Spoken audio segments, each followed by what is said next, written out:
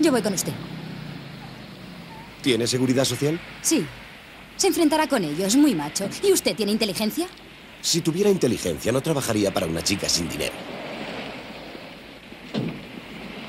Llegará a apreciarlo, pero requiere mucho tiempo, guapa. Es lo mismo que él me dijo de usted.